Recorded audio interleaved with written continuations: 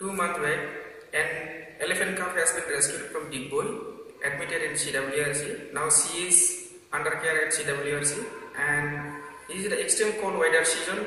That's why we are putting some socks and so in her legs, some blankets on the body so that she, she can get more comfort.